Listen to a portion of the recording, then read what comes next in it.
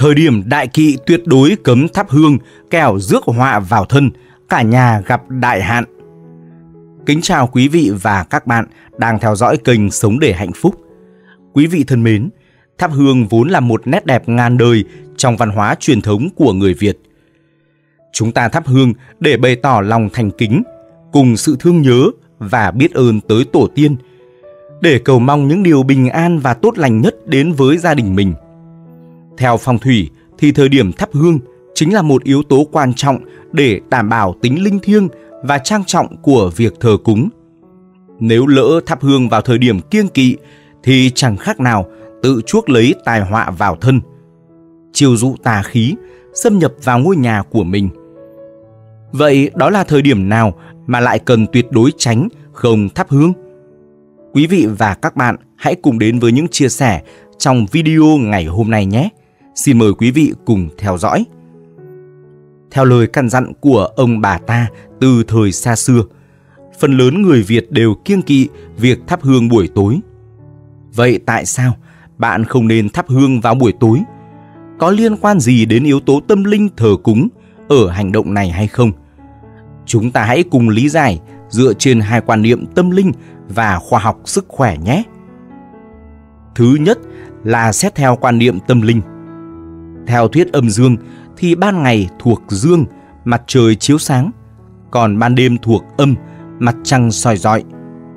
Vì ban đêm chủ âm nên đây là thời gian mà các vong vô chủ, cô hồn không nơi nương tựa sẽ lang thang để tìm chỗ bám víu. Điều mà ban ngày vì có thái dương chiếu sáng, chúng sẽ không làm được như vậy. Nếu bạn thắp hương vào buổi tối thì sẽ tạo đủ điều kiện để những vong linh lạ xâm nhập vào nhà mình. Khi bạn lên hương vào buổi tối, ma quỷ sẽ coi đây là một tín hiệu mời gọi chúng. Đến lúc bấy giờ, người chân mắt thịt sẽ không thể ngăn cản các vong vô chủ quấy nhiễu gia đình. Ma quỷ hay các vong linh vô chủ sẽ đòi được thờ cúng cùng phụng và lấn át chân linh gia tiên của dòng tộc. Hậu quả là âm dương loạn lạc, tai ương sẽ kéo đến với gia đình – dẫn dụ ma quỷ vào nhà. Thứ hai là xét trên cơ sở khoa học và sức khỏe. Ngoài lý do tâm linh như trên thì còn một nguyên nhân không nên thắp hương buổi tối. Đó là nguyên nhân về sức khỏe và an toàn cháy nổ. Thử hình dung việc sau khi thắp hương vào ban đêm, mọi thành viên đều đã ngủ say. Nếu chẳng may tàn hương cháy dở rơi xuống bàn thờ, đồ thờ cúng xung quanh sẽ bị bén lửa và gây ra hỏa hoạn đáng tiếc. Hơn nữa, ban đêm mọi người dễ ngủ say, sẽ rất khó phát hiện lửa cháy sớm để kịp thời dập tắt. Như vậy, vừa để đảm bảo an toàn cháy nổ, vừa tốt về mặt tâm linh, thì các gia đình chỉ nên thắp hương vào ban ngày. Vậy gia chủ nên thắp hương vào thời điểm nào trong ngày là tốt nhất? Với những ý nghĩa tâm linh đặc biệt này, thời gian thắp hương tốt nhất trong ngày mà gia chủ nên ghi nhớ, đó chính là vào mỗi buổi sáng sớm. Bởi vì mùi thơm của nén hương khi được thắp lên sẽ tạo nên bầu không khí ấm cúng, yên bình và vô cùng thư giãn, thoải mái. Hơn thế nữa, khởi động ngày mới bằng việc thắp một nén hương cho ông bà tổ tiên cũng là cách giúp cho bạn có năng lượng dồi dào hơn, tràn đầy sức sống hơn và một ngày sẽ trở nên tươi mới hơn rất nhiều. Bên cạnh đó thì cũng có rất nhiều gia chủ thắc mắc rằng liệu có nên thắp hương thường xuyên hàng ngày trên bàn thờ hay không. Theo quan niệm trong thờ cúng hiện nay, thắp hương hàng ngày là việc gia chủ nên làm. Tuy nhiên, nếu gia chủ bận bịu và không thể duy trì thói quen này hàng ngày thì chỉ cần thắp hương vào những ngày rằm, mùng 1, lễ Tết với chút hoa quả, lễ mọn dâng lên ông bà tổ tiên để thể hiện lòng thành kính của mình. Ngược lại, nếu có điều kiện về thời gian, các gia chủ vẫn nên thắp hương hàng ngày là tốt nhất. Bởi thắp hương lên bàn thờ sẽ làm cho không gian trong gia đình trở nên ấm cúng hơn, lòng người sẽ nhẹ nhàng và an yên hơn. Gia chủ nên lưu ý chỉ thắp một nén hương bởi theo quan niệm thờ cúng trong dân gian, số nén hương càng thấp là một trong những yếu tố mang nhiều ý nghĩa tâm linh khác nhau. Theo đó, thắp một nén hương là sự bày tỏ lòng thành kính, biết ơn đối với ông bà, tổ tiên và các vị thần Phật. Đồng thời khi thắp, các bạn sẽ phải thắp bằng hai tay để không thể hiện thái độ bất kính, vô lễ đối với bậc bề trên, các vị thần Phật cao quý. Cùng với đó, mỗi khi thắp hương, gia chủ cần đặc biệt lưu ý về hai nguyên tắc sau đây để giữ cho bản thân và cả gia đình được bình an và may mắn. Thứ nhất, mỗi lần thắp hương trước bàn thờ tổ tiên, bạn cần phải dâng hương bằng cả tấm lòng kính cẩn của mình. Đồng thời, cần phải có sự chánh niệm với việc làm của bản thân. Tắm nén nhang bằng cả hai tay một cách ngay thẳng, thể hiện tấm lòng ngay thẳng. Dù có phòng bà bão táp cũng không đổi rời. Nén nhang trầm tỏa mùi hương thơm ngào ngạt, tượng trưng cho sợi dây máu thịt kết nối giữa vong linh, người đã mất với người đang sống trên trần gian. Thứ hai, nếu thắp hương ở các địa điểm như đình, miếu, đường, xá thì cần phải có bài văn khấn để mời đúng vong linh của người mình cầu về hiến hưởng và chứng giám.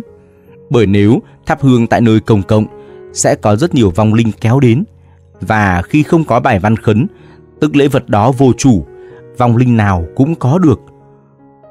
Bên cạnh đó, việc dâng hương bằng lời cầu khẩn thành kính, người cúng cần phải có sự chánh niệm.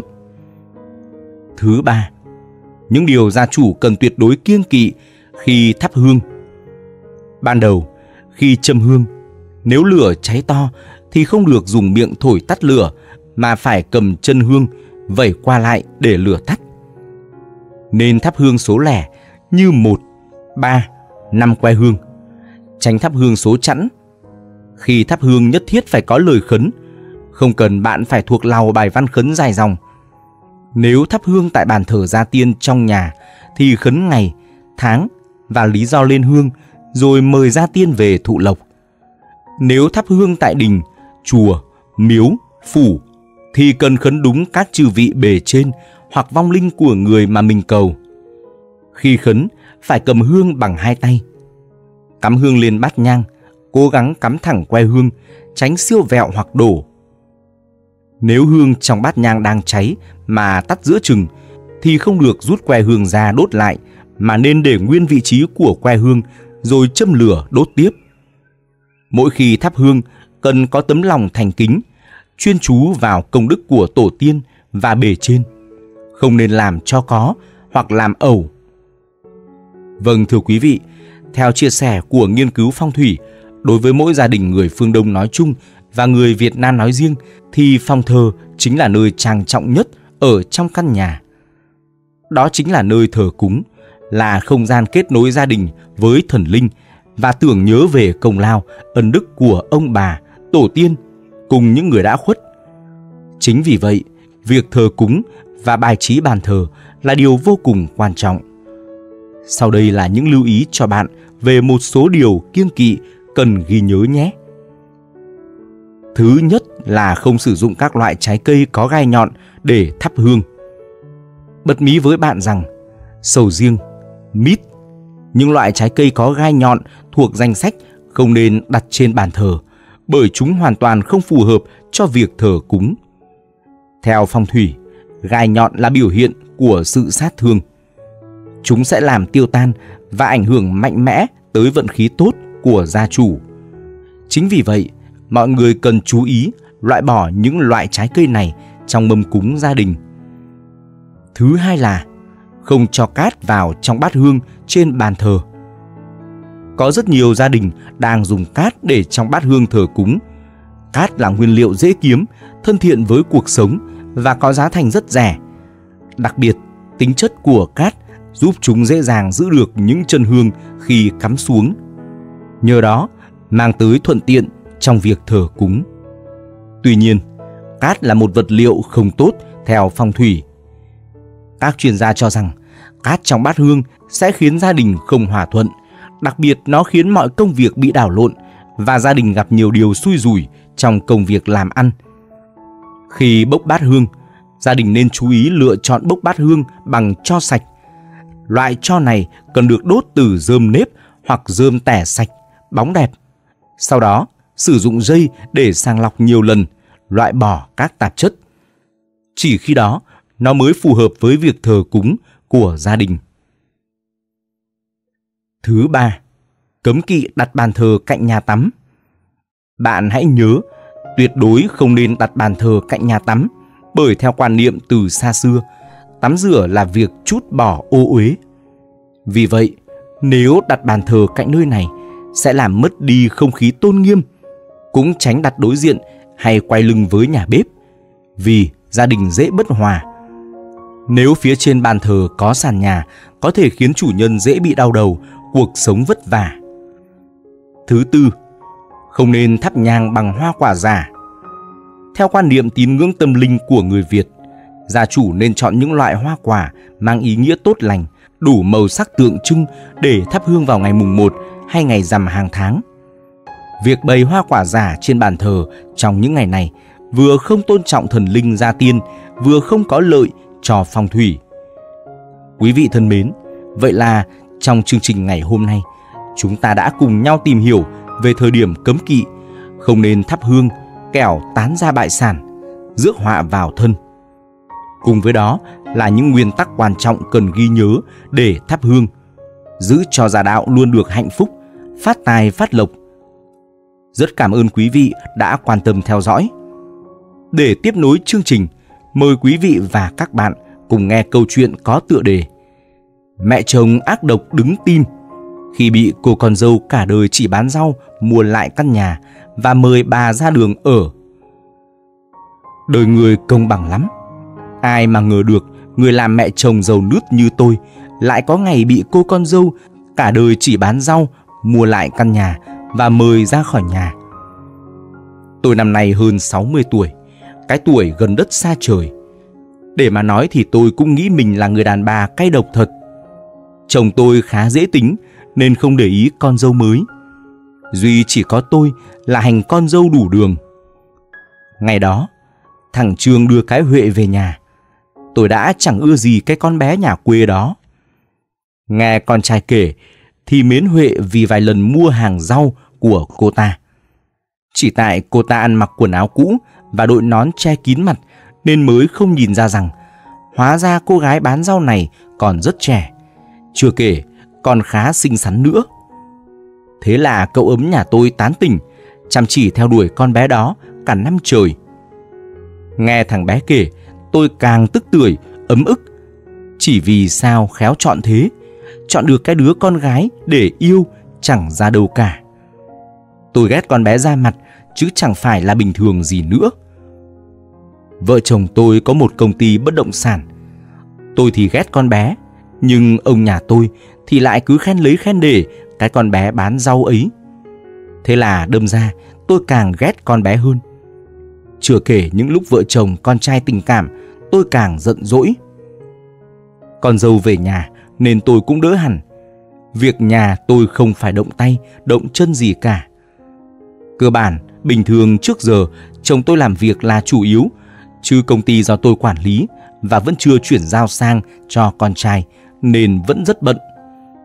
Con dâu vào nhà tôi giàu có nhưng vẫn giữ khăng khăng cái nghề bán rau đó. Vốn không coi nó là người trong nhà nên tôi cũng chẳng buồn can thiệp. Nó làm gì thì làm, miễn sao vẫn chu toàn việc nhà cửa là được. Ngày con bé mang thai đứa con đầu lòng, nhìn con dâu bụng mang dạ chửa vẫn tất bật bán từng mớ rau một. Tôi nhìn không thấy thương mà chỉ thấy ngứa mắt tôi thấy nó đang cố diễn trò đáng thương thì có. Chứ nhà cao cửa rộng, tôi có để nó thiếu thốn cái gì đâu. Có những hôm đi chợ, nhìn thấy con dâu ngồi đó. Tôi chỉ đến, xỉa sói có một câu. Con ơi là con, nhà có thiếu ăn đâu mà ra bán mặt cho đất, bán lưng cho trời như thế. Chỉ làm xấu mặt cái nhà này thôi con ạ. À.